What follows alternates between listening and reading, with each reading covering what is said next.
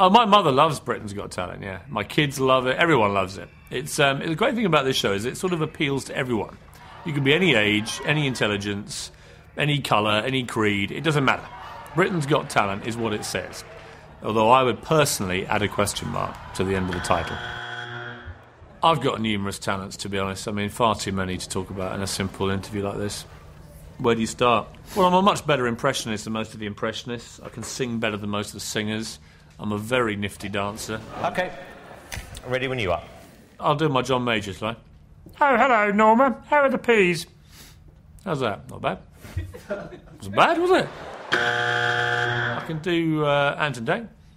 Hey, away with that light, mother! Eh? Huh? Kevin Keegan? Whoa! Hey! Oh!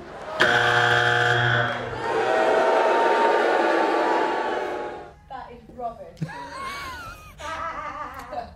Ant's wife is telling me that's rubbish, but that's because she's just used to it. Kevin Keegan, a Messiah! Whoa! I mean, the whole thing is ludicrous.